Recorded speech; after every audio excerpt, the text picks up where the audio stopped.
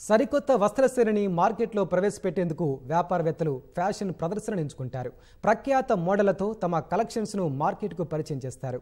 బొలివియాలోని ఓ జైలులో మహిళా ఖైదీలు కూడా ఇదే పద్ధతి అనుసరించారు. అయితే తాము తయారు చేసిన వస్త్రాలను మార్కెట్ చేసుకునేందుకు స్వయంగా వారే మోడల్ అవతారమెత్తారు. వయ్యారి హంస నడకలతో హోయలుపోతూ మోడళ్ళ కంటే తాము ఏమాత్రం తక్కువ కాదని నిరూపిస్తున్నారు.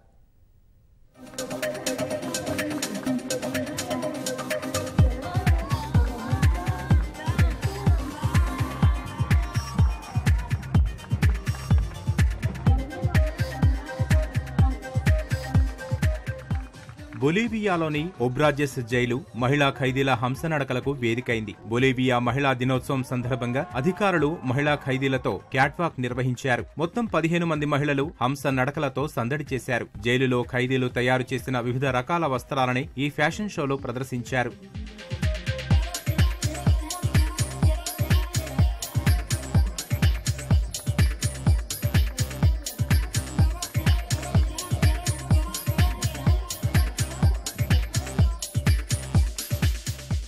వివిధ నేరాలపై శిక్ష అనుభవిస్తున్న మహిళలకు తమ ఖర్చుల కోసం వస్త్రాలను తయారు చేసే పనిలో అక్కడి అధికారులు శిక్షణ ఇప్పించారు. చాలా మంది మహిళలు ఎంతో ఉత్సాహంగా కుట్టుపని నేర్చుకుని వివిధ వస్త్రాలను తయారు చేస్తున్నారు. వాటిని అధికారులు మార్కెట్లో విక్రయించి ఆ డబ్బును మహిళా ఖైదీలకే అందిస్తున్నారు.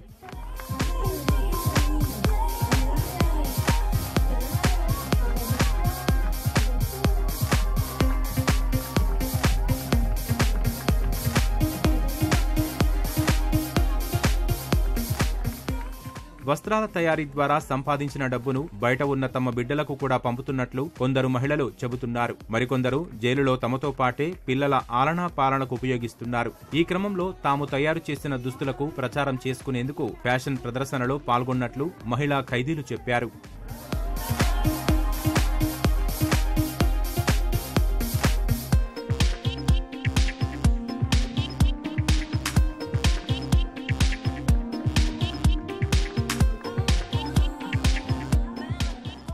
బొలీవియాలో ప్రఖ్యాత రచయిత అడేలా జమూడియో జయంతిని పురస్కరించుకొని ఏటా అక్టోబర్ పదకొండున మహిళా దినోత్సవం నిర్వహిస్తారు.